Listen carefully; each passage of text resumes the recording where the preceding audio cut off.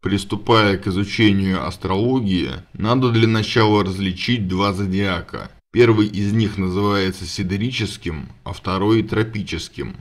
Слово «сидерический» образовано от латинского «sidus», упоминаемого в начале прошлой лекции и означающего неподвижную звезду или созвездие. То есть сидерический зодиак основан на зодиакальных созвездиях, идущих вдоль эклиптики. Слово же «тропический» означает относящийся к тропикам или к точкам солнцестояния.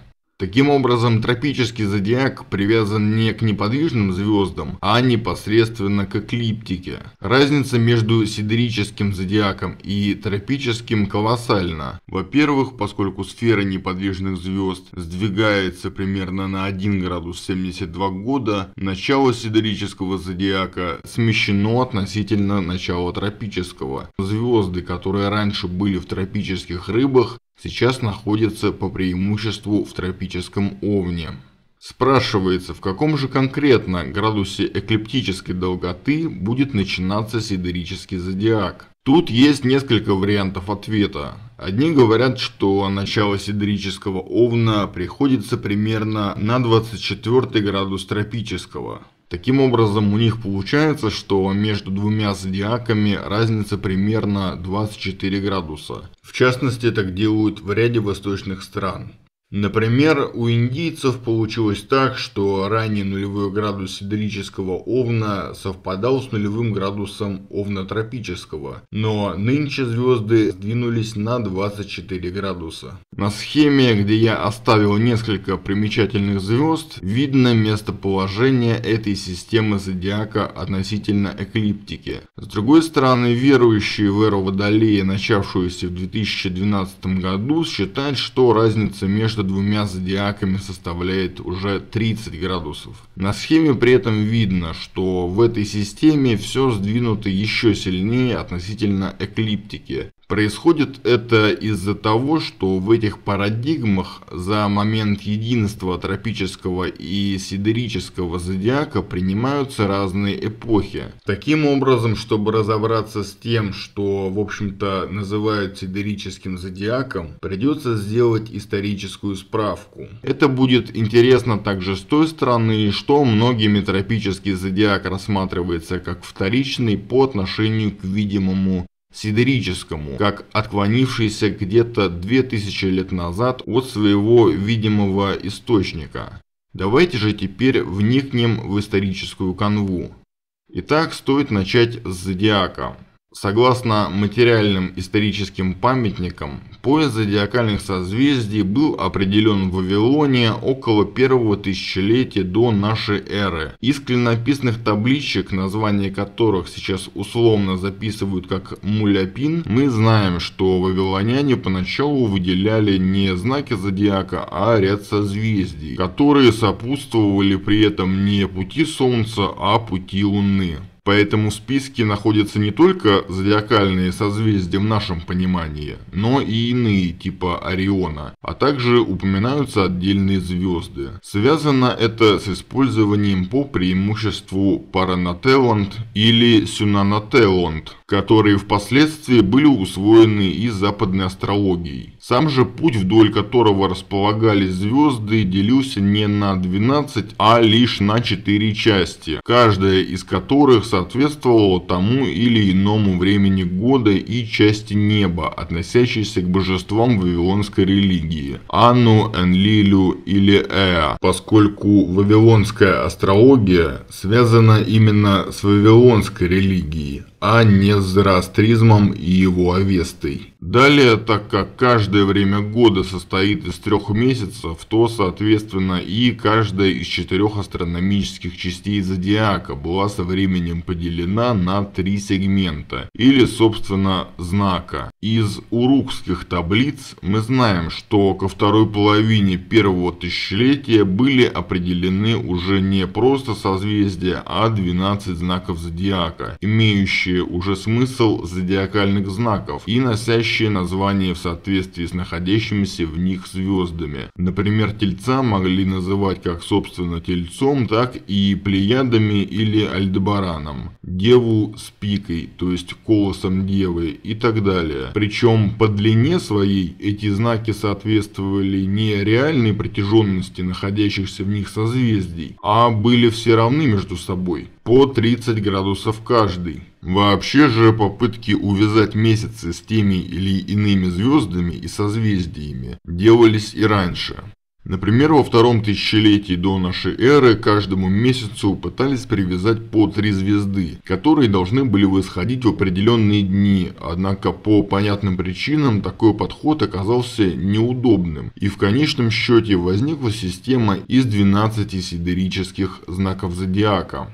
Удобство ее было в том, что зодиакальные знаки охватывали собой соответствующие созвездия и при этом более-менее совпадали с месяцами государственного календаря. Теперь, чтобы выяснить, насколько тропический зодиак разнится с этим сидерическим, надо понять, насколько те или иные сидерические знаки отступали от эклиптических точек равноденствий. Мы сразу сталкиваемся с проблемой, что календарь Календарь был лунно-солнечный. Для подсчета дней в году и для вычисления их продолжительности использовались арифметические методы, которые не требовали точного установления равноденствий, так как начало месяца считалось с новолуния. Однако, так как особого значения равноденствиям не придавалось, в результате возникала погрешность в длине дня где-то на 8 минут. Но поскольку она не особо значительна, весенний Состояние равноденствия было просто закреплено сначала в 10 градусе сидерического овна, а потом передвинуто на 8 градус. Кроме этого, благодаря таблицам Муляпин мы знаем, что на момент их создания солнцестояние и равноденствие были зафиксированы примерно на 15 градусах соответствующих знаков, поскольку там сказано, что 15 числа Ниссана месяца день и ночь были равны. В частности, по этой причине данные таблицы относят примерно к началу первого тысячелетия до нашей эры. Однако, чтобы уточнить момент совпадания тропического зодиака и сидерического, необходимо теперь обратиться к греческой астрологии. Как уже ясно из вышесказанного, идея зодиака или круга, поделенного на 12 равных частей по 30 градусов, первоначально появилась в Вавилонии. Знаки начинались созвездие Овна, тогда как точка весеннего равноденствия плавно переходила из середины в начало этого знака. В то же самое время, когда система с 12 сидерическими знаками уже точно существовала, то есть около середины первого тысячелетия до нашей эры, древние греки в массе своей не особо разбирались в движениях планет. Например, про Демокрита говорили, что он не только не знал о закономерности окрестностях, стоящих за движениями планет, считая их беспорядочными,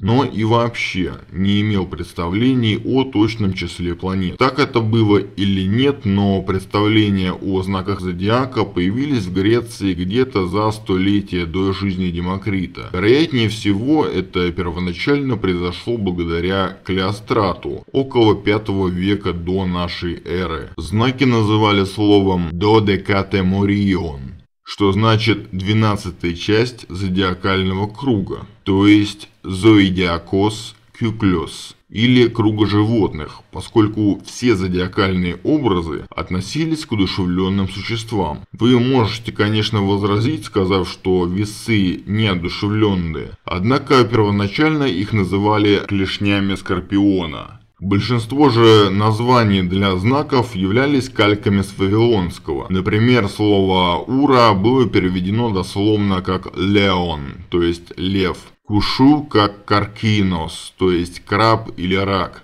Хотя некоторые считают, что кушу относилось к скоплению ясли или презепе, а не ко всему раку.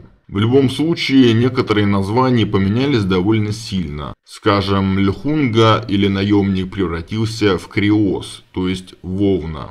В то же время греки уже тогда любили геометрию, а геометратас медейси сито, не геометр да не войдет. Это пошло еще с тех времен, поэтому в том же пятом веке до нашей эры современник Клеострата по имени Евктимон ввел в использование тропический зодиак. Причина этого была в том числе и в том, что расчеты древние греки делали не арифметически, как вавилоняне, а геометрически, работая с небесной сферой и эклиптикой, которую лучше всего делить на 12 равных частей, начиная с точки весеннего равноденствия, без сдвига к созвездию Овна. Но в то же время были и греки, пользовавшиеся в астрологических целях и сидерическим зодиаком. Например, так поступал младший современник Евктимона Книдец Евдокс, считавший, что начало тропического зодиака начинается в восьмом градусе сидерического, что в общем и целом было верно для первой половины IV века до нашей эры, когда Евдокс как раз таки и жил.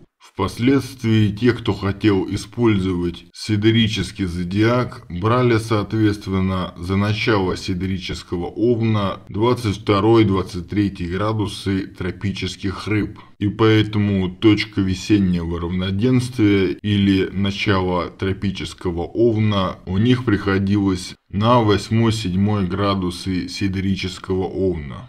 По воспоминаниям Теона Александрийского, такое сильное смещение некоторыми использовалось и в третьем веке нашей эры, то есть когда этого смещения уже не было и в помине. Кроме этого, благодаря автору первой гелиоцентрической модели мира Аристарху Самосскому и наблюдениям Александрица Тимохариса, во втором столетии до нашей эры астролог Гепарх Никейский установил закономерность в прецессии, по которой у него вышло, что за 100 лет сидерический зодиак сдвигается на 1 градус. Впрочем, он допустил погрешность, потому вскоре в последующие столетия значение прецессии исправили на 1 градус не в столетие, а в 72 года. Конкретно же во втором веке до нашей эры Гепарх заметил, что звезда Спика, она же Колос Девы, сдвинулась относительно эклиптики на пару градусов к точке осеннего равноденствия. У него получилось, что если при Тимахарисе расстояние до до точки осеннего равноденствия составляло 8 градусов, в его время, то есть при жизни самого гепарха, оно было уже порядка 6, то есть падало где-то на 24 градус тропического знака Девы. Эти же наблюдения ввел впоследствии и Клавдий Птолемей, указавший около 140 года нашей эры в своем труде «Альмагест», что спика или колос девы сдвинулась еще сильнее. Он указал, что спика находится в 26 градусах 40 минутах тропического знака девы, что в целом верно, поскольку положение спики приходилось тогда примерно на 27 градусов ровно. Наконец, спустя еще пару десятков лет после смерти Птолемея, спика в тропическом зодиаке заняла то же место, что она занимала в сидерическом зодиаке, то есть у вавилонян, оказавшись между 28 и 29 градусом тропической девы. В итоге член американского математического общества Петер Хьюбер, известный как автор функции потерь Хьюбера, сопоставив данные различных вавилонских гороскопов, установил, что два зодиака совпадали около 220 года нашей эры, так как в сотом году до нашей эры расхождение составляло порядка 4-4,5 градусов градусов, что дает разброс где-то со 180 по 220 года нашей эры. К этим цифрам приходили и иные исследователи, изучавшие сидерический зодиак. Но Хьюбера отличает самый систематический подход, из-за чего с момента его публикации в 1958 году о нуль-пункте Вавилонской эклиптики стало негласным правилом ссылаться на его работу при исследовании сидерического зодиака. Бердяка. Таким образом, сидерический зодиак отличается от тропического на 2020 год на 25-25,5 градусов. Что же до ряда восточных стран, у них разница зачастую составляет всего 24 градуса. Например, так дело обстоит в Индии. Причем там это не только общепринятая практика среди астрологов, но и официальная позиция правительства, поскольку на основе данных вычислений составлен национальный календарь. Я думаю, после рассказанного у вас тоже сложилось впечатление, что зарубежные исследования последних ста лет по нашей теме будто бы обошли подавляющее число российских астрологов стороной. Лично я, по крайней мере, изначально довольно скептически относился к российским обучающим программам по астрологии и в конечном счете решил составить свою собственную. Я это к тому, что вам будет достаточно сделать сделать беглый взгляд на публикации и выложенные в сеть лекции по теме разницы двух зодиаков, чтобы убедиться в том, что в российских астрологических школах, как маргинальных, так и довольно крупных и якобы признанных, причем как в восточных, так и в западных, словом вообще в любых, утверждают, будто бы два зодиака отличаются не на 25-25,5 градусов, а только на 24. То есть они следуют за директивой индийского правительства. Однако я не так консервативен, потому не постесняюсь задаться вопросом, почему индийский зодиак отходит от тропического всего на 24 градуса. Ответ на самом деле очень прост и очевиден, если вы знаете о прецессии, как они знают астрологи уже несколько тысяч лет. В целом 1 градус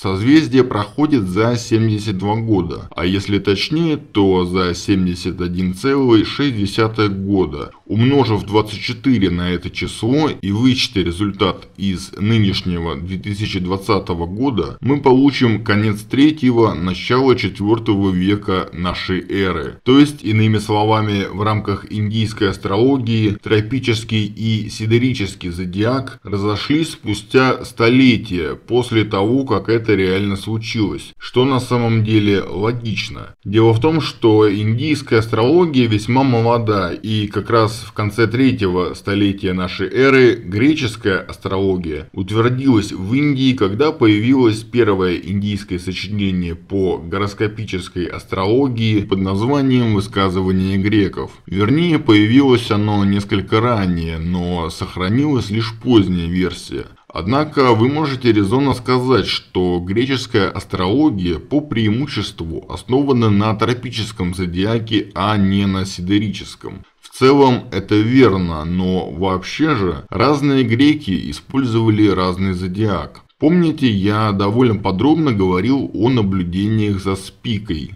колосом Девы. К тому времени, то есть к моменту, когда практики западной и ближневосточной цивилизации укрепились в Индии, тропический зодиак уже успел разойтись с сидрическим после своего схождения, и относительно эклиптики спика пребывала примерно в нулевом градусе весов, или в конце 30 градуса тропической девы. Проще говоря, так называемый индийский сидерический зодиак подразумевает, что спика находится в конце тропической девы, начале тропических весов.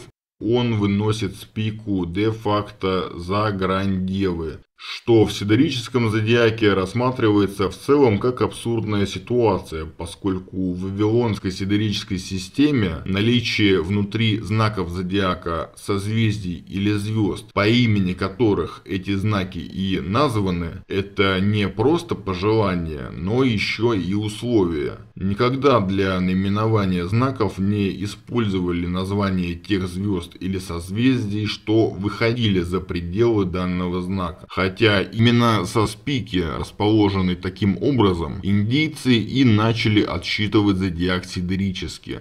Таким образом, так называемый сидерический зодиак, используемый в индийской астрологии, это не сидерический зодиак, а застывший тропический зодиак, в том виде, в каком он пребывал в конце третьего века нашей эры. С этой точки зрения, индийская астрология основана на греческом тропическом зодиаке, который она не смогла процессировать далее. Основная причина заключается в том, что накопленных астрономических знаний, появившихся в Индии со времен походов Александра Македонского, для этого еще не хватало. Таким образом, индийские астрологи не стали смещать сидерические знаки дальше относительно тропиков и зафиксировали их на том градусе, где они были в момент привнесения греческой астрологии в Индию. По этой причине такую систему даже не все индийцы называют сидерической, так как последнюю в строгом смысле до сих пор применяют в западной астрологии параллельно с тропической, что мы еще будем разбирать на наших занятиях. Казалось бы, это очевидно и понятно, но, как вы знаете, индийское общество довольно консервативно, и вряд ли Индия поменяет свой нуль-пункт на государственном уровне. Кстати, мимоходом говоря, можно упомянуть остальные элементы западной астрологии, воспринятые в течение истории другими астрологическими школами. Например, вслед за западной классической системой, многие не используют Уран и вообще планеты, орбиты которых больше орбиты Сатурна, хотя тот же Уран виден невооруженным глазом. Кстати, вслед за Западом, например, Индия унаследовала квадратную карту гороскопа, которую с недавних пор стали ради удобства заменять на круглую. В-третьих, система астрологических домов во многих восточных странах так и осталась равнодомной, каковой она была у греков в эпоху эллинизма, что во многом было сделано, опять же, из-за сложности математического аппарата, который необходим для систем домов более сложного плана. Ну и еще можно упомянуть, что вслед за западной астрологией многие приняли на вооружение систему лунных стоянок, хотя некоторые вместо 28 стоянок используют только 27. Что же до причин перехода Айкумены на тропический зодиак и его отвязки от видимых созвездий, хотя в то же время отдельные неподвижные звезды и используются? Это в том числе и философский вопрос. По понятным причинам греческие астрологи, маги, эзотерики в иерархии бытия умозрительное ставили выше зримого физическими глазами. С этой точки зрения привязка зодиака к эклиптике более чем логична. В этой парадигме умопостигаемые математические и, кроме того, метафизические объекты естественным образом стоят выше физических. Например, по той же причине гелиоцентризм в метафизическом, а не физическом ключе не был принят в третьем веке до нашей эры, а только после, в новое время. Хотя и тогда его поначалу приняли рассмотрели как физическую модель, пригодную для календаря, а не как метафизику. Кроме этого, тропическая система дает больший простор для магического воздействия на реальность и в том числе для магической корректировки гороскопа так как в такой астрологии первичное внимание уделяется незримой оккультной реальности бытия, а не физически данной. Тут, правда, стоит сделать уточнение, что, как я уже говорил, неподвижные звезды остались в использовании у западной астрологии, то есть те же паранателанты остались в обиходе. Кроме этого, стоит сказать, что мнение приверженцев того, будто настала эпоха Водолея, беспочвенно, поскольку до данного события им осталось чуть подождать, 350 лет плюс-минус пару десятилетий. В конце этого маленького исторического исторического обзора осталось упомянуть мнение, будто тропический зодиак вторичен и не учитывает прецессии. Тут все довольно просто. Во-первых, тропический зодиак появился не то что после своего расхождения с сидерическим, но более того он появился еще до схождения с ним. То есть при появлении тропического зодиака было и так понятно, что они расходятся, причем положительно, а не отрицательно, как в наше время. Во-вторых, создатели тропического зодиака сами высчитали прецессию, поэтому говорить, будто прецессия опровергает тропический зодиак, это абсурдно, так как те, кто это говорит, опираются на астрологов, которые эту прецессию сами и рассчитали для удобства в астрологической практике. Напоследок надо упомянуть древних египтян. Их астрономию зачастую называют примитивной, хотя дело тут в том, что те писали на папирусах, а они не могли сохраниться так же хорошо, как глиняные таблички тех же вавилонян. Однако, что точно известно, египтяне делили зодиак на деканы или лики, то есть на 36 частей по 10 градусов, что также было воспринято греческой астрологией в эпоху эллинизма. Если вы хотите получить больше информации на данную тему, записывайтесь на мои курсы, делитесь этим видео с друзьями, ставьте лайк и подписывайтесь на мой канал. До скорых встреч!